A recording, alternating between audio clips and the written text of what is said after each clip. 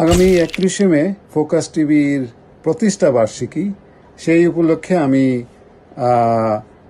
Focus টিভিকে অভিনন্দন জানাচ্ছি। এবং বিশেষ করে ফোকাস টিভির বাংলাদেশকে তুলে ধরা যে ইতিবাচক প্রচেষ্টা এবং নতুন প্রজন্মের সাথে সংযোগের যে ইচ্ছা, তা সত্যি প্রশংসনীয়।